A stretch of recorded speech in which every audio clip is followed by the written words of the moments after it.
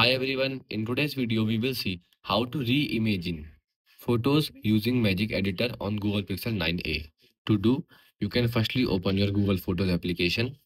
Then after here you can select your photo and then tap on edit.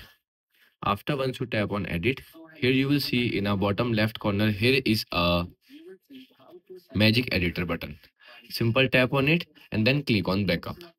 So firstly you can take a backup of your image.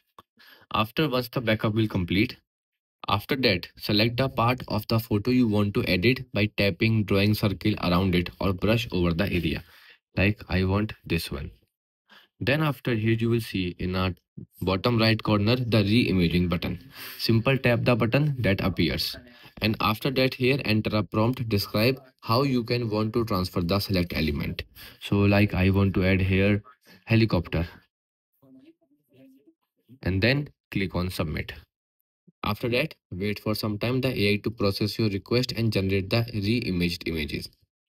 And then after review the results, if you satisfy, save your edit photos. If not, try again with a different description or selection. So here you will see, now the helicopter will be added here. Okay. And now if you satisfy, you can simple tap on check button to confirm. And then click on save a copy. Okay and then you will see the copy image will be saved. This one is the original and this one is a copy. Goodbye.